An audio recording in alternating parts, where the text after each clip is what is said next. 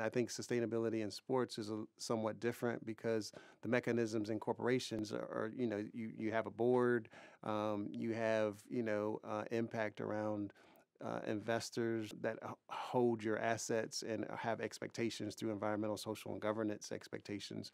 And so there's an expectation that you do reporting. It's an expectation that you disclose through CDP uh, around water, forest, and and um, energy. But when you're in a sports venue and it's it's not a publicly traded company uh, and it's a single owner, then it's really important for the owner to kind of make some of those decisions, right?